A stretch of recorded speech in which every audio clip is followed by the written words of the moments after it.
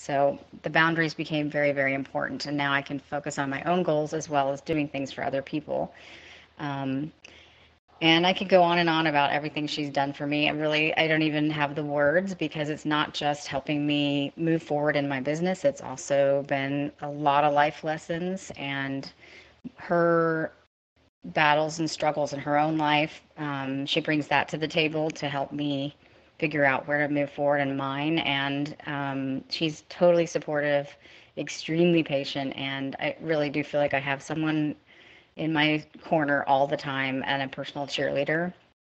Um, and really, it's since it's been such a crazy time in the last few weeks with the quarantining that has made things even more stressful. Um, and I don't know where I would be without her support and her voice of reason. Um, she's really kind of been the only one lately who gets me and gets where I'm coming from. So, um,